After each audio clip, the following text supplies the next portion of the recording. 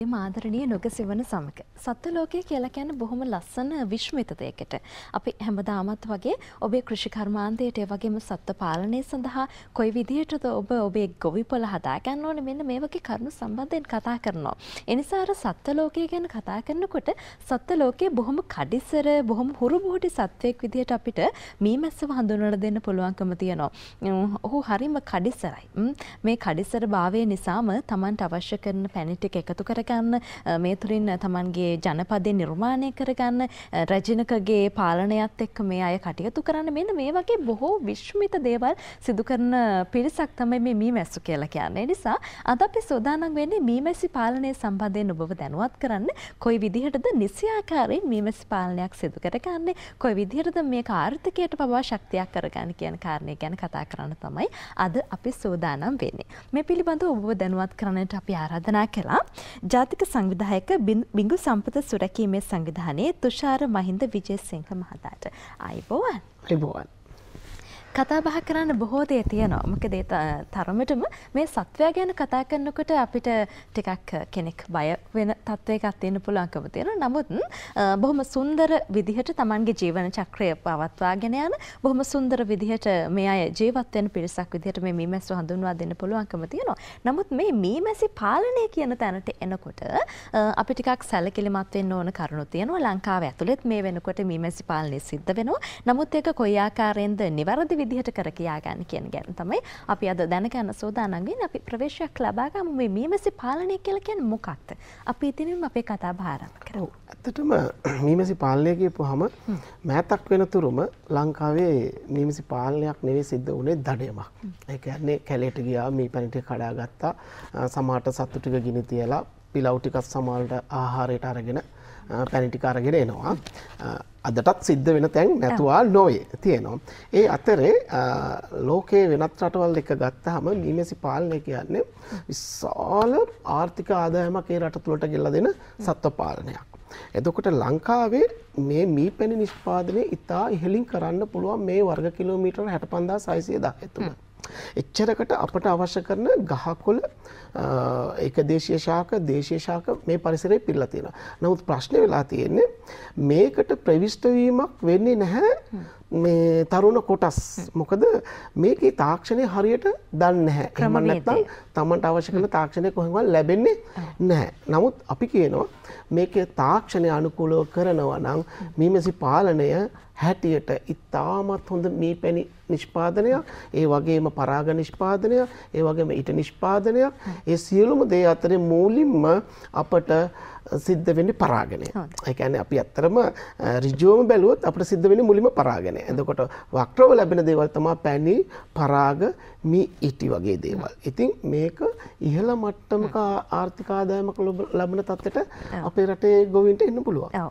ඉතින් ඒ නිසා ඔබේ ආර්ථිකයට ශක්තියක් කරගන්න අවශ්‍ය කරන විදිහට ඔබේ ජීවන රටාව හදාගන්න පුළුවන් කියලානේ අද අපි නොගසවන ආරම්භ කළේ. ඒ නිසා ඔන්න ඔබට හොඳ ප්‍රවේශයක් විදිහට මේක යොදා ගන්න පුළුවන්කම තියෙනවා. ඒ නිසා අපිට ලැබිලා තියෙන කාලයත් එක්ක අපිට බොහෝ දේවල් පෙන්වන්න තියෙනවා. කොයි විදිහටද මේවා කරගන්නේ? උපකරණ මොනවද විශේෂිත වුණු මේ හැම දෙයක්ම කරන්න ඕනේ. අපි කොහොමද මේ මීමැසි පාලනය සිද්ධ කරන්න කියන කාරණය සම්බන්ධයෙන් කෙටියෙන් අපි කතා කරමු. ඔව් ඇත්තටම මීමැසි පාලනය කරනකොට අපිට අනිවාර්යයෙන්ම දෙපාර්තමේන්තුවේ රජයෙන් නිර්දේශ කරපු උපකරණ තියෙනවා. පෙට්ටි තියෙනවා. ඒ පෙට්ටි අවශ්‍ය වෙනවා. එතකොට මේ පෙට්ටියක් තුල තමයි අපි මීමැස්සෝ ඇතුල් කරලා තාක්ෂණය අනුකූලව මීමැස්සෝ බෝ කරගෙන පැණි නිෂ්පාදනයට හා ගණාවාස බෝ කිරීමට කියන දෙකට ඇතුල් කරන්න. අපිට මැදිරියේ බලා ගන්න පුළුවන්කම තියෙනවා මේ වෙනකොට. ඔව් මීමැසි පෙට්ටිය තියෙනවා. මම හිතනවා ඒක ලිහලා පෙන්නන්න ගියොත් අපිට කාලේ මදි වෙන ප්‍රශ්නයක්වත් මතුවෙන්න පුළුවන්. ඒ අතරේ මම කොටස් ටිකක් එළියට අරගෙන තියෙනවා. මම ඒ කොටස් වලින් පහදලා දෙන්නම්. අපිට මේ දකින්න තියෙන්නේ මීමැසි පිලා පෙට්ටියක් තුල තියෙන පිලා වදයක්. එහෙනම් මේ පිලා රාමුවක් තුල පිලා වදයක් තුල පිලව් ඉන්න කොටස මේ අපිට පේන්න තියෙනවා. එතකොට මෙතනදී අපිට මේ චූටිවට සඩස්ටාකාරෝ පේන්නේ මං හිතන්නේ සමීප රූපයක් ගත්තොත් පේයි. මෙන්න මේ ඉන්න සතා මේ මොහොතේ ඉපදිච්ච සතෙක් මේ ඉන්නේ මේ මේ අවස්ථාවේ. එතකොට මේ යටින් තියෙන කෝෂ හැම එකක්ම රජින කුහර අපි කොයින් සෙල්ස් කියලා කියනවා. එතකොට රජිනක් නිර්මාණය කර ගැනීම සිද්ධ වෙන්නේ මේ කෝෂයක් තුලින්. එතකොට මේ වද 8ක් හෝ 6ක් පිලාපෙට්ටියක් තුල තියෙනවා. එහෙමනම් මේ පිලාපෙට්ටියෙන් සිද්ධ වෙන කාර්යය තමයි පැණි නිෂ්පාදනය එතකොට පරාග නිෂ්පාදනය පිලව් නිෂ්පාදනය මම පොඩ්ඩක් ඊළඟ ප්‍රේම් එකට ගිහිලා පෙන්වන්නම්. ඒක අපිට දැක ගන්න පුළුවන්. පැන නිෂ්පාදනය වීම දැන් කැලේදී අපට නැහැ පිලාව පෙට්ටිය පැණි පෙට්ටිය කියලා එකක් නැහැ. කැලේදී මීමැස්සා ගුලක් තුල එකම ආකාරයකට වද 6ක් 7ක් 8ක් 10ක් 15ක් බඳිනවා. ඒ හැම වදයකම යාට පැණි කොටසක් පරාග කොටසක් පිලව් කොටසක්. එතකොට පිලව් කියන කොටසට බිත්තර කීට කෝස කියන අවස්ථා තුන ඇතුල් වෙනවා. දැන් සමහරට ඒයි දැන් මෙන්න මේ කොටසේ මේ වැක්කිරෙන පටන් ගන්න පැණි. මං ඇඟිල්ලෙන් ටච් කරපුවාම මේ වැක්කරෙන්නේ පැණි. එතකොට මේ හොඳ මී පැණි තමයි මේ වැක්කරෙන්නේ. එතකොට එතනින් පල්ලෙහා අඟලක කොටසේ අපට දකින්න තියෙනවා පරාග කියන කොටස. එතනින් පල්ලෙහා තමයි සම්පූර්ණයෙන්ම පැටව් කියන කොටස එන්නේ. හොඳයි.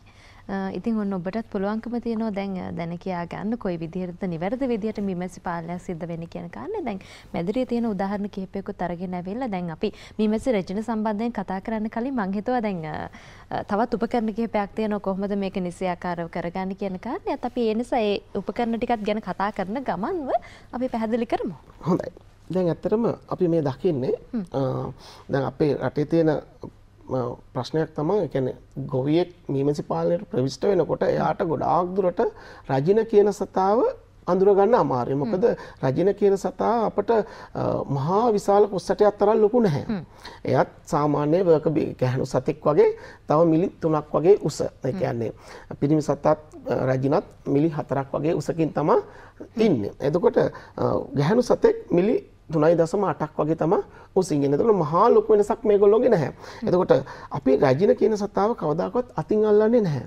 මොකද ලංකාවේ සිද්ධ වෙන හැම වෙලාවකම කරන්නේ අතින් අල්ලලා පෙට්ටියට දාන එක. අතින් ඇල්ලුවට කමක් නැහැ. තටු දෙකෙන් පමණයි යාගේ අල්ලන්න පුළුවන්. උදරේ කොහෙන් හරි හැල්ලුවොත් එයා එදා ඉඳලා බිත්තර දාන එක ජීවිත කාලෙම නවතිනවා. ආයෙත් සංසර්ගයේ දීමක් සිද්ධ වෙන්නත් බෑ. ආයෙ යාට බිත්තර දැමීමක් ලැබ- හැකියාවක් ලැබෙන්නේ නැහැ. ඒ හින්දා රජින කියන සතාව අනිවාර්යයෙන්ම අපි මෙන්න මේ වගේ මේ කුයින් කේජ් එකට තමයි අපි ඇතුල් කරගන්න. දැන් මේකේ පේන්නේ මේකේ රජිනක් ඉන්නවා ජීවමාන රජිනක්.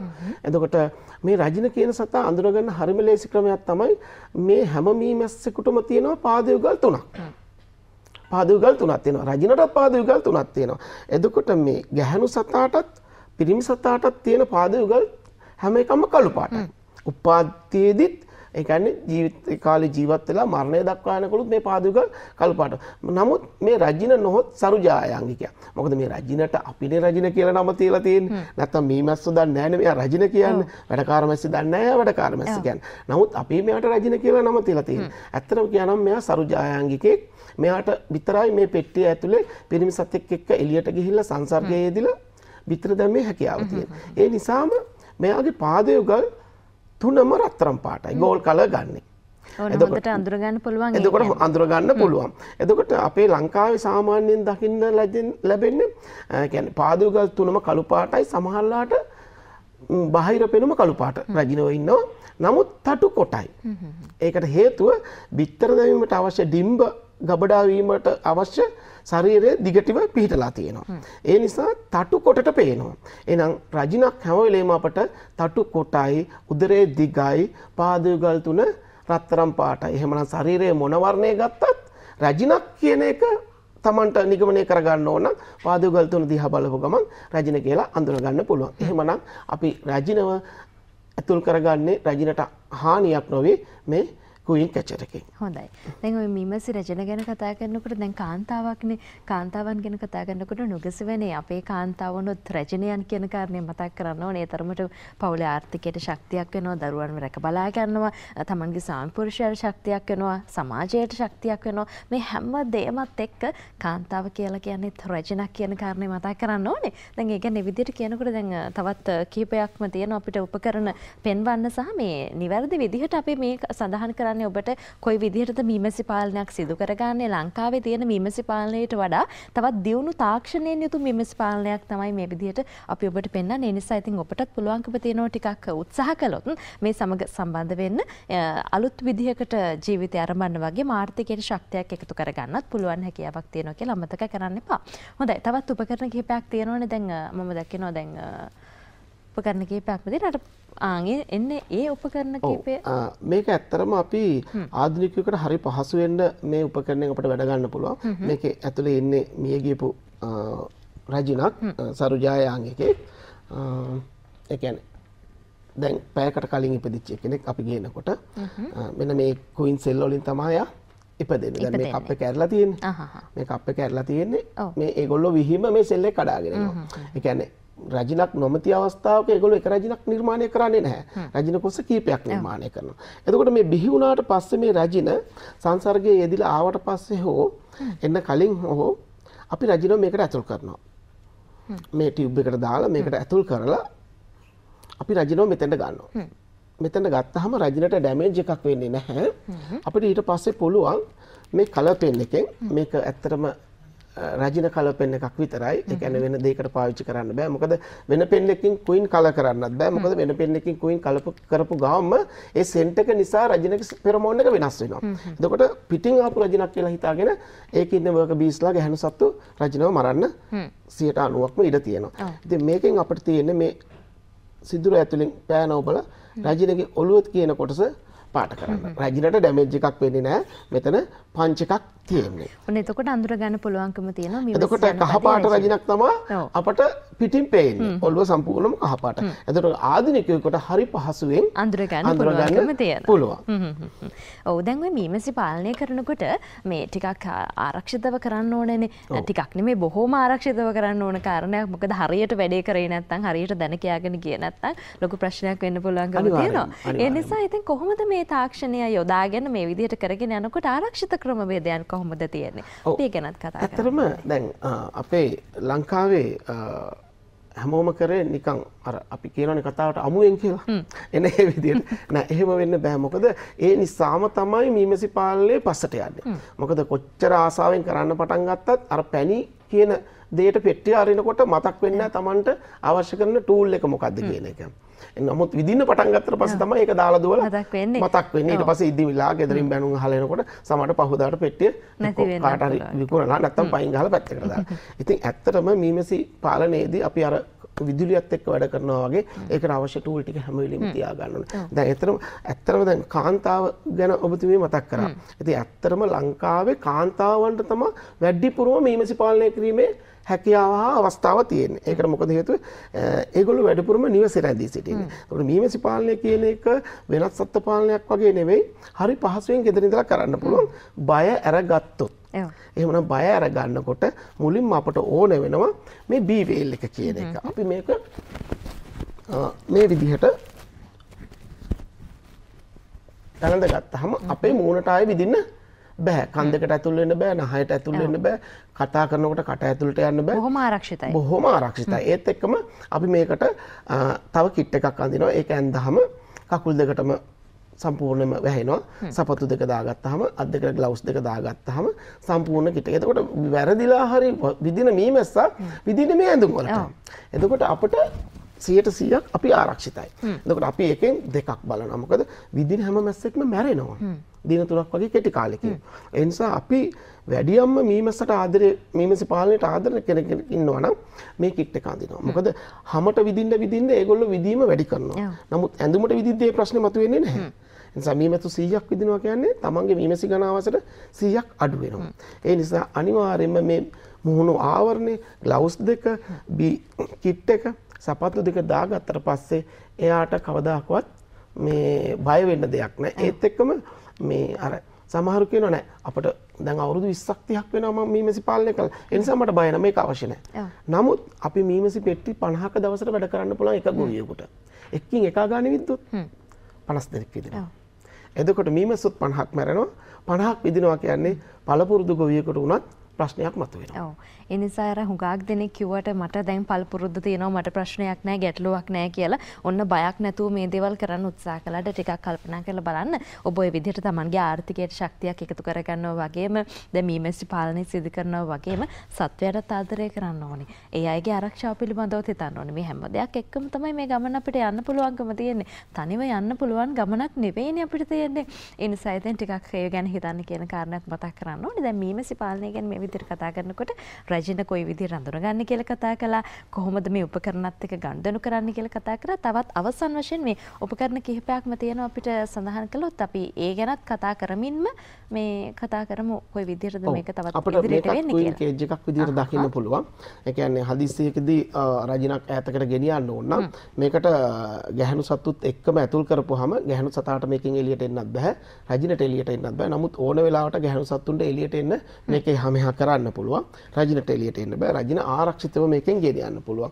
ඒත් එක්කම අපිට මේකේ දකින්න ලැබෙනවා අපිට ඒ කියන්නේ රජින කෝෂ අපි විසින් සෙල් හදාගෙන මේවලට ඇතුල් කරලා ඊට පස්සේ රජින කීටයොත් මේකට ඇතුල් කරලා බිත්තර කීට කියන අවස්ථා දෙකෙන් එකක් මේකට ඇතුල් කරලා ගොඩාක් හොඳයි කීට අවස්ථාව ඇතුල් කරන්න පුළුවන් නම් ඒ විදිහට මේක පෙට්ටිය ඇතුළට ඇතුල් කරපුවාම කප් එක ඇරලා ඊට පස්සේ ඒගොල්ලෝ මේක ඩෙවලොප් කරගෙන රජින ඉපදෙන තත්ත්වයට හරි ගස්ස ගත්තට පස්සේ රජින කප් එක ඇතුළේම තමයි ඉපදෙන්නේ. අපට ඕන වෙලාවක මේක ගලවලා නැවත වෙන පෙට්ටියකට දෙන්න පුළුවන්. ඒ විදිහට උපකරණ හැම එකක්ම තියෙනවා. මොකද බිඟු සම්පත් සුරකීමේ සංවිධානයෙන් මේ සම්බන්ධව ගොඩාක් කැප වෙලා වැඩ කරනවා.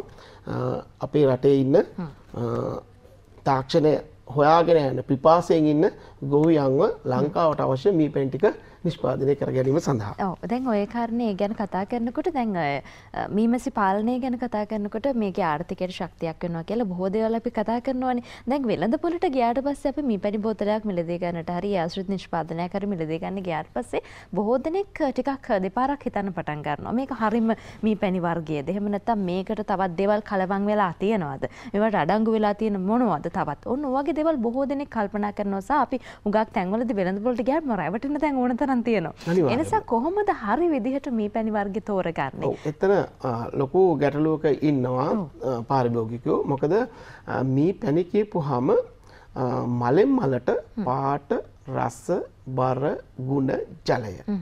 ඒක තව මම පැහැදිලි කරනවා නම් අඹ ගෙඩියක් එක රසක් නේ. පැපොල් ගෙඩිය තව රසක්. වරක ගෙඩිය තව රසක්. එතකොට අඹ මලේ පැණි එක රසක්. එතකොට වෙරළු මලේ පැණි තව රසක් එතකොට උග්‍රස්ස මලේ පැණි තව රසක්. එතකොට මේවල ගුණාත්මක භාවය ජල ප්‍රතිශතයත් වෙනස් වෙනවානේ. එහෙමනම් මලෙන් මලට මීමැස්සා ගේන පැණිවල පැණිවල සංයුතිය වෙනස් වෙනවා. එතකොට එතනදී තමයි කියන්නේ සමහර විට අ, අනුරාධපුරයේ හිටපු කෙනෙක් කාලා තියෙන මොරමලේම පැණි වෙන්න පුළුවන් ජීවිත කාලෙම. එතකොට මොරමලේ පැණි කාලා කාලා හදිසි එනවා එයා නුවරට. ඇවිල්ලා එයාට කන්න සිද්ධ වෙනවා ඉන්දියන් සබර්මලේ පැණි. මල් පැණිනේ මී පැණි බවට පස්සේ ඊට පස්සේ එයා කෙලින්ම කියනවා මේක මී පැණි නෙවෙයි. මේක මී පැණි. නෑ මේක මී පැණි. නෑ මී පැණි මේ රහ නෙවෙයි. මොකද එයාට ජීවිත කාලයෙන් පුරුදු මොරමලේ මල් පැණි මී පැණි වශයෙන් කාලා. එතකොට මේකට ඇත්තටම පරාග සංයුතය අඩංගු නම් ඒක ස්ථීරව මී පැණි. ඒකට පරාග සංයුතය කොච්චරක් තියෙනවද? ඒකට අවශ්‍ය සංගටක තව කොච්චරක් තියෙනවද කියලා සියලුම දේ අපිට හොයාගන්න පුළුවන් ITI ආයතනයට අපේ සාම්පලයක් දුන්නාම. ඒ සාම්පලය දුන්නාම ඒගොල්ලෝ කියනවා මේක 100%ක් හොඳ මීපැණිද නරක මීපැණිද කියන එක. එහෙමනම් දැන් ඔය අපේ සමහර පැරැන්නෝ ජලයට මීපැණි බින්දුවක් දාලා බලනවා සමහරලාට මීපැණි ටිකක් ගිනි කූර ගහලා පත්තු කරලා බලනවා ඒක 100%ක් අසාර්ථකයි. ඒක සිද්ධ. මොකද මල් වල ජල ප්‍රතිශතය අනුව ජලයේ මීපැණි වටුනහම දිය වෙන ටයිමින් වෙනස් වෙනවා. හැබැයි ඕක දැන් ওই කාරණේ ගැන කතා කරනොත් දැන් වෙළඳ පොලෙන් අපි හොයාගන්නකොට ඔය ගැටලුව අපිට පරීක්ෂා කරලා බලලා මේ දේවල් කරන්න පුළුවන් කොහෙන්ද හැකියාවක් නැහැනේ. ඒ නිසා කොහොමද අපි මේ වෙළඳ පොලේදී මේක මිලදී ගන්නකොට මේක ඇත්තටම හොයාගන්නේ? වෙළඳ පොලේදී ඔක මිලදී ගද්දී 100%ක් ඒ කියන්නේ රට තුල හොඳින් මීමැසි පාලනය කරන ඒ කියන්නේ හොඳ මේ මේ කාලයක් තිස්සේ මීපැණි අලෙවි කරන එහෙම නැත්නම් ඒ රාජ්‍ය සහතිකේ අලෙවිසලේ තියෙන්න ඕනේ. මේ මෙතන මේ මේ මීපැණි ලැබෙන්නේ මේ ආයතනයෙන් මේකේ හොඳම මීපැණි කියන එක ඒ ITI ආයත- ආයතනයෙන් ලැබිච්ච සහතිකයක් තියෙන්න ඕනේ. ඒ සහතිකේ මත අපිට බය නැතුව මීපැණි ගන්න පුළුවන්. මොකද අපි කොච්චර කිව්වත් අර පාට රස බර ගුණ කියන කොටස් ටික වෙනස් වෙනකොට අ, පාරිභෝගිකයා ගැටලුවකට පත් වෙනවා. මොකද අනිත් දෙයක් වගේ කඩලා කාලා බලලා ඉවරලා අරන් යන්න බෑනේ. ඒ නිසා වගකීමක් ඇතුව ගන්න පුළුවන් තැනකින් විතරක් මීපැණි ගන්න කියන එක තමයි අපට කියන්න පුළුවන්. ඔව්. එතකොට දැන් ඔය මේ පැණි ලබා ගන්න මෙන්න මේ විදියට පරීක්ෂා කරලා බලලා හොඳ තත්ත්වෙන්න යුතු මේ පැණි ඔබටත් ලබා ගන්න පුළුවන් වගේම දැන් මම අර කලිනුත් සඳහන් කරපු විදියට ඕක ආර්ථිකයට ශක්තියක් කරගෙන ඔබට පුළුවන් මේ අද හෙටම මේ ව්‍යාපාරය ආරම්භ කරන තැනකට එකතු කරගන්න කොහොමද මේ තත්ත්වය අපි මුලින්ම පටන් ගන්න ඕනේ. මේකට ව්‍යවසායකයන් හැටියට ආසාවක් තියෙන්න ඕනේ. එතකොට ඒ ආසාව මුදුන්පත් කරගන්න තමන්ගේ උනන්දුව ඇති වෙන්න ඕනේ. ඉතින් අපි කියනවා බිඟු සම්පත සුරකිමි සංවිධානයේ හැටියට අපි ලංකාව පුරාම මීමැසි පාලනය පුහුණු පන්ති පවත්වනවා. ගොඩාක් වෙලාවට අපට රාජ්‍ය ආයතන වැවිලි කර්මාන්ත අමාත්‍යංශයෙන් ඒකට සහයෝගය දෙනවා. ඒ හරහා රට පුරා වැවිලි කර්මාන්ත අමාත්‍යංශයෙන් පෙට්ටි බෙදා දෙනවා. එතකොට අපි තාක්ෂණය දෙනවා ඒ අමාත්‍යංශයට. එතකොට Tamanට අවශ්‍ය ගොවියෝ ඉන්නව නම් ගමේ හොඳ රක්ෂිත තියෙනවා නම් අවට. බිම් සම්පත් සුරකීමේ සංවිධානය අපිට කතා කරපුවම අපි ඒ සම්බන්ධකම් හරි ගස්සලා දෙනවා. 180ක් 90ක් Tamanට නොමිලේ බඩු භාණ්ඩ ටික ලැබෙනවා ඒ ආයතන වලින්. ඊට පස්සේ Tamanගේ උනන්දුව මත කරගෙන යන්න අවශ්‍ය කරන අපි තාක්ෂණේ 100%ක් ලබා දෙනවා. ඔව් ඉතින් තාක්ෂණයේ තියෙනකොට හරි හැටියට මේ දේවල් කොහොමද කරගන්නේ කියන දේ හසුරව ගන්න පුළුවන්කම තියෙනකොට ඉතින් ඇයි ඔබ තවමත් ගෙදරට වෙලා නිවෙස් වලට වෙලා එක ආර්ථිකයක් මත යැපෙමින් එහෙම නැත්නම් Tamanගේ නිවසට තවත් ආර්ථික මාර්ග කිහිපයක් එකතු කරගන්න නැතුව බලාගෙන ඉන්නේ නේද? ඒ නිසා ඉතින් නුගසෙවන බලාගෙන ඉන්න ඔබට කියන්න තියෙන්නේ බොහෝ දේවල් ඔබට ජීවිතය ඇතුළේ කරන්න තියෙනවා. නමුත් කරන්නේ කොහොමද සහ කරන්න ඕනේ කොතනද පටන් ගන්න ඕනේ කොතනද කියන තැනින් තමයි ඔබ මේව තෝරගෙන නැත්තේ. අන්න ඒක තමයි බොහොම ප්‍රශ්නයක් බවට පත් වෙලා තියෙන්නේ. ඒ නිසා ඉතින් අර කෘෂි කර්මාන්තය ගැන කතා කරනකොට සත්ත්ව පාලනය ගැන කතා කරනකොට අපි බොහෝ දේවල් ඔබට නුගසෙවන තුලින් අරගෙන එනවා. ඒ නිසා අද අපි ඔබට සමීප කළේ මීමැසි පාලනය කොහොමද සිද්ධ කරන්නේ? කියන කාරණේ. ඉතින් ඒ නිසා මේ පිළිබඳව ඔබව දැනුවත් කරන්නට අප සමගින් සම්බන්ධ වුණේ බිඟු සම්පත සුරැකීමේ සංවිධානයේ ජාතික සංවිධායක තුෂාර මහින්ද විජේසිංහ මහතා. බොහොම ස්තුතියි මේ කරුණු බොහොම ලස්සනට අරගෙන ඇවිල්ලා මේ උපකරණත් එක්ක මිමැසි රැජිනියකුත් අරගෙන ඇවිල්ලා හරි අපූර්වට අපිට සැලසුම් කරලා දුන්නට බොහොමත්ම ස්තුතියි.